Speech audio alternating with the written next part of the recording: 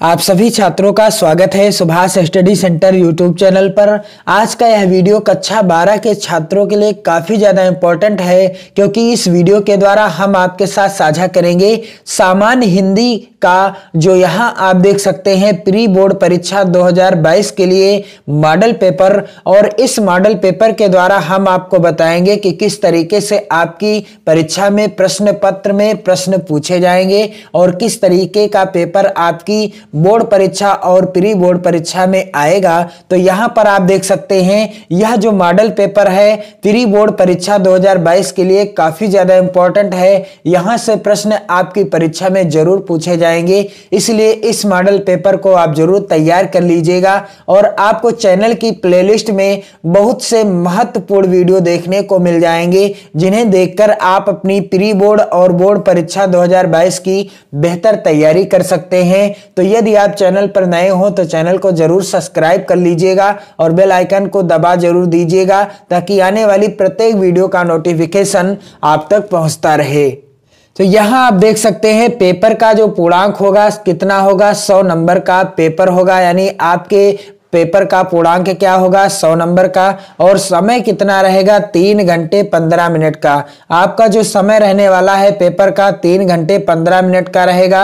और यहाँ पर आप देख सकते हैं, कुछ सामान्य से नोट्स लिखा है या निर्देश लिखा हुआ है कि प्रारंभ के पंद्रह मिनट परीक्षार्थियों को प्रश्न पत्र पढ़ने के लिए निर्धारित हैं। प्रारंभ के पंद्रह मिनट आपको प्रश्न पत्र पढ़ने के लिए दिए जाएँगे। और यहाँ पर आप देख सकते हैं, आपका पेपर पर दो खंडों में विभाजित है खंड का और खंड खा में तो यहाँ पर आप देख सकते हैं, खंड का में प्रश्न पूछे गए हैं। प्रश्न संख्या एक का, हिंदी का प्रथम नाटक है। यहाँ आप देख सकते हैं, चार विकल्प दिए गए हैं। और इनमें से कौन सा हिंदी का प्रथम नाटक है? सही जवाब आपको देना है और सही जवाब देने पर आपको एक नंबर मिल जाएगा। यानी जो बहुविकल्पी प्रश्न पूछे जाएँगे, प्रत्येक प्रश्न एक नंबर का पूछा जाएगा। यहाँ पर एक खा के अंतर्गत प्रश्न पूछा गया है। चौरासी वैष्णवन की वार्ता के लेखक हैं। दिए गए विकल्पों में से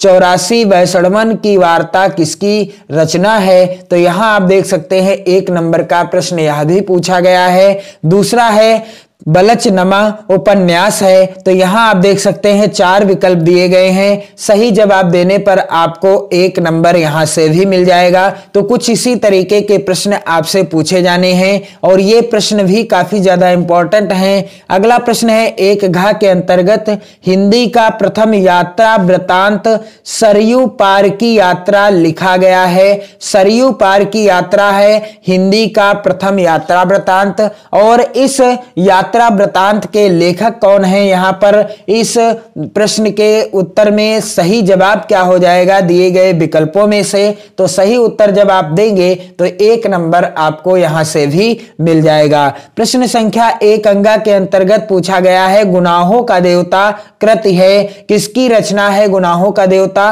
और यह प्रश्न मोस्ट इंपॉर्टेंट है, इसे ज़रूर तैयार कर लीजिएगा। प्रश्न संख्या दो का भी बहुविकल्पी पूछा जाएगा। यहाँ पर आप देख सकते हैं, भक्ति आंदोलन का श्रेय जाता है। भक्ति आंदोलन का श्रेय किसे जाता है? यहाँ आप देख सकते हैं, चार विकल्प दिए गए हैं। राइट आंसर देने पर एक नंबर आपको मिल जाएगा। तो इसी तरह के प्रश्न पूछे जाने हैं और ये प्रश्न भी काफ़ी ज़्यादा इंपॉर्टेंट है। यहाँ आप देख सकते हैं, प्रश्न संख्या दो खा के अंतर्गत पूछा गया है। प्रयोगवाद को नई कविता की संज्ञा दी। यहाँ पर दिए गए विकल्पों में से प्रयोगवाद को नई कविता की संज्ञा किसने दी? सही जवाब देने पर एक नंबर मिलेगा। अगला प्रश्न है, चिंतामणि कवि हैं, यहाँ पर चार विकल्प दिए गए हैं, सही जवाब देने पर एक नंबर मिलेगा। और अगला प्रश्न है, हिंदी का प्रथम कवि माना जाता है तो हिंदी का प्रथम कवि किसे माना जाता है? एक नंबर का यह भी प्रश्न पूछा गया है। और अगला प्रश्न है, दो अंगा के अंतर्गत मुकरिया रचना है, दिए गए विकल्पों में से मुकरिया किसकी रचना है? एक नंबर का यह प्रश्न पूछा गया है। तो यहाँ पर आप देख सकते हैं प्रश्न संख्या एक। प्रश्न संख्या एक में पाँच बहुविकल्पी पूछे गए हैं और प्रश्न संख्या दो में भी पाँच बहुविकल्पी प्रश्न पूछे गए हैं। यानी कुल दस बहुविकल्पी प्रश्न आपसे पूछे जाएँगे पेपर में और प्रत्येक प्रश्न एक नंबर का होगा। यानी दस नंबर के क्या पूछे जाएँगे? बहुविकल्पी प्रश्न पूछे जाएँगे, जिनमें से पाँच प्रश्न होंगे आपके हिंदी गद्य साहित्य के इतिहास पर आधारित। और पाँच प्रश्न होंगे जो प्रश्न संख्या दो के अंतर्गत पूछे जाएँगे। हिंदी काव्य साहित्य के इतिहास पर आधारित प्रश्न। और यहाँ पर आप देख सकते हैं प्रश्न संख्या तीन जो कि इस प्रकार से आएगा। निम्नलिखित गद्यांश पर आधारित प्रश्नों के उत्तर दीजिए। यहाँ पर आप देख सकते हैं मोस्ट इंपॉर्टेंट गद्यांश दिया गया है और गद्यांश के नीचे प्रश्न दिए गए हैं और आपको गद्यांश पर आधारित प्रश्नों के उत्तर देने पर कुल कितने नंबर मिलेंगे? पाँच गुड़े दो, यानी दस नंबर आपको मिलेंगे। यानी गद्यांश आधारित जो प्रश्न पूछे जाएँगे, कुल कितने प्रश्न होंगे? पाँच प्रश्न होंगे। और प्रत्येक प्रश्न दो नंबर का होगा और कुल आपको दस नंबर यहाँ से मिल जाएँगे। तो चाहे तो आप प्रश्न संख्या तीन का गद्यांश आधारित प्रश्नों के उत्तर दें, चाहे जो तीन के अथवा में यहाँ पर आप देख सकते हैं तीन का जो अथवा है, इस गद्यांश के जो प्रश्न पूछे गए हैं, यहाँ पर आप देख सकते हैं तीन के अथवा गद्यांश के नीचे पाँच प्रश्न पूछे गए हैं। चाहे तो आप इन प्रश्नों का उत्तर दे सकते हैं, आपको दस नंबर ही मिलेंगे। यहाँ पर प्रश्न संख्या चार, जो कि इस प्रकार से आएगा। निम्नलिखित पद्यांश पर आधारित प्रश्नों के उत्तर दीजिए, और यहाँ पर आप देख सकते हैं दो पद्यांश दिए गए हैं। आपको किसी एक पद्यांश के नीचे दिए गए प्रश्नों के उत्तर देना है। और आपको 10 नंबर यहाँ से भी मिल जाएँगे। प्रश्न संख्या यहाँ पर आप देख सकते हैं पाँच का। प्रश्न संख्या पाँच का, जो कि इस प्रकार से पूछा जाएगा आपके पेपर में, निम्नलिखित में से किसी एक लेखक का साहित्यिक परिचय देते हुए उनकी प्रमुख रचना का उल्लेख कीजिए। तो यहाँ पर तीन विकल्प दिए होंगे और तीन प्रमुख लेखकों के नाम भी दिए होंगे। आपको किसी एक लेखक का साहित्यिक परिचय, जीवन परिचय लिखना है और उनकी प्रमुख रचनाओं के नाम भी लिखने हैं, जिसके लिए आपको यहाँ से कितने नंबर मिलेंगे? पाँच नंबर मिलेंगे। और प्रश्न संख्या पाँच खा, जो कि इस प्रकार से पूछा जाएगा, निम्नलिखित में से किसी एक कवि का साहित्यिक परिचय देते हुए उनकी प्रमुख कृतियों पर प्रकाश डालिए। तो यहाँ पर आप देख सकते हैं, तीन विकल्प दिए गए हैं। आपको किसी एक कवि का साहित्यिक परिचय, यानी जीवन परिचय देते हुए उनकी प्रमुख रचनाओं को भी लिखना है और जिसके लिए आपको यहाँ से भी कितने नंबर मिलेंगे? पाँच नंबर मिलेंगे। तो प्रश्न संख्या छह, जो कि इस प्रकार से पूछा जाएगा, ध्रुव यात्रा अथवा पंचलाइट कहानी का उद्देश्य लिखिए, अथवा बहादुर कहानी का संक्षिप्त कथानक अपने शब्दों में लिखिए, और शब्द सीमा कितनी होगी? अधिकतम 80 शब्दों में आपको लिखना है इस प्रश्न के उत्तर को। तो चाहे तो आप प्रश्न संख्या छह का उत्तर दें, अथवा चाहे तो आप प्रश्न संख्या छह के जो अथवा में प्रश्न पूछा गया है, इस प्रश्न का उत्तर दें। आपको पाँच नंबर ही मिलेंगे। अगला प्रश्न पूछा गया है, प्रश्न संख्या सात के अंतर्गत स्वपठित खंड काव्य के आधार पर किसी एक खंड के प्रश्न का उत्तर दीजिए। यहाँ पर आप देख सकते हैं, पाँच नंबर का प्रश्न यह भी पूछा जाएगा। आपके ज़िले में जो खंड काव्य निर्धारित है, आपको उसी खंड काव्य के आधार पर दिए गए प्रश्न का उत्तर उत्तर देना है। यहाँ आप देख सकते हैं, मान लीजिए आपके ज़िले में मुक्त यज्ञ खंड काव्य निर्धारित है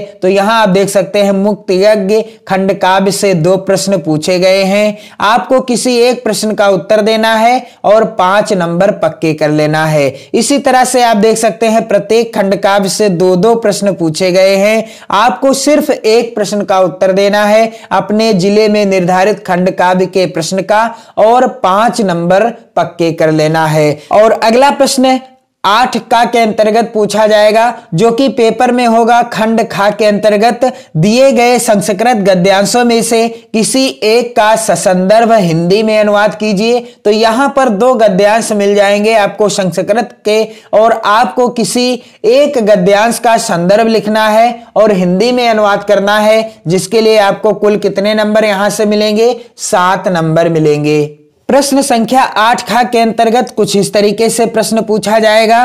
दिए गए पद्यांशों में से किसी एक का संदर्भ हिंदी में अनुवाद कीजिए। यहाँ पर संस्कृत के दो पद्यांश दिए होंगे इसी तरीके से।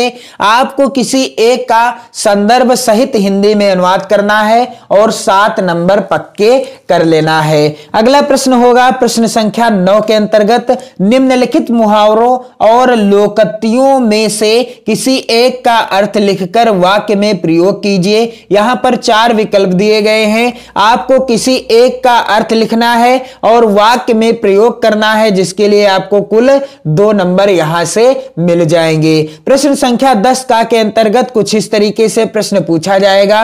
निम्नलिखित शब्दों के संध विच्छेद के सही विकल्प का चयन कीजिए। तो यहाँ पर दस का का जो फ़र्स्ट क्वेश्चन है, यहाँ पर आप देख सकते हैं, लिखा है कवि स्वराह का संध विच्छेद है। दिए गए विकल्पों में से कौन सा सही है और सही उत्तर चुनने पर आपको एक नंबर मिलेगा। इसी तरह से आप देख सकते हैं नायिका का संध विच्छेद है और इसी तरह से आप देख सकते हैं परमार्था का संध विच्छेद क्या है दिए गए विकल्पों में से। तो ये जो तीन प्रश्न पूछे गए हैं, प्रत्येक प्रश्न एक नंबर का है, यानी जो दस का के अंतर्गत प्रश्न पूछा जाएगा, कितने नंबर का होगा?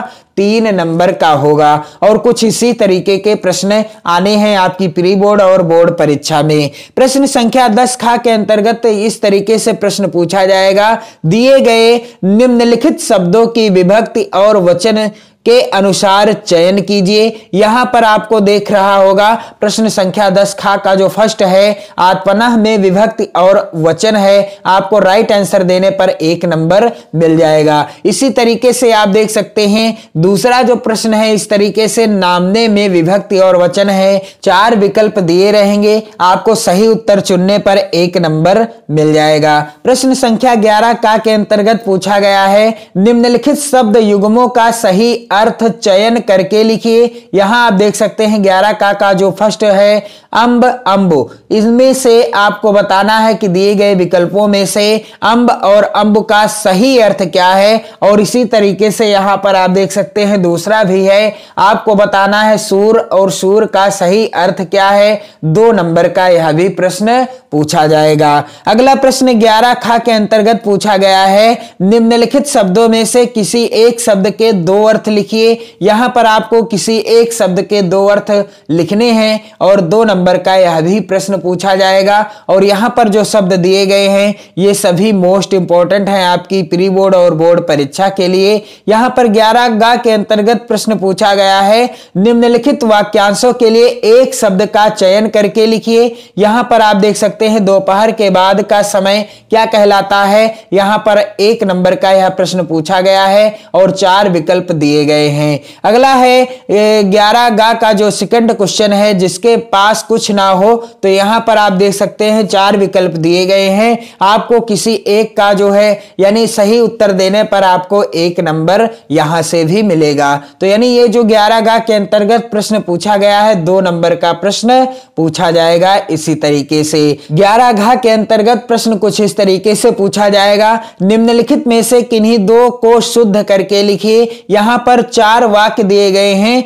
और आपको किन्हीं दो वाक्यों को शुद्ध करके लिखना है। और दो नंबर का यह प्रश्न आपसे पूछा जाएगा, इसलिए आपको वाक्य का शुद्धिकरण करना भी आना चाहिए। प्रश्न संख्या बारह का के अंतर्गत पूछा गया है, करुण अथवा शांत रस को सोदाहरण परिभाषित कीजिए। यह प्रश्न पूछा गया है दो नंबर का और बारह खा के अंतर्गत प्रश्न पूछा गया है, अनुप्रास और उत्प्रेक्षा अलंकार के अंतर को सोदाहरण स्पष्ट कीजिए। यह प्रश्न भी दो नंबर का आया हुआ है और यहाँ पर बारह गा के अंतर्गत प्रश्न पूछा गया है, चौपाई अथवा दोहा छंद का लक्षण लक्षण उदाहरण सहित लिखिए। यह जो प्रश्न पूछा गया है, कितने नंबर का? दो नंबर का पूछा गया है। प्रश्न संख्या तेरह के अंतर्गत प्रश्न कुछ इस तरीके से पूछा जाएगा कि किसी स्कूल के प्रबंधक को लिपिक के पद पर अपनी नियुक्ति हेतु एक आवेदन पत्र लिखिए। छह नंबर का यह प्रश्न पूछा जाएगा।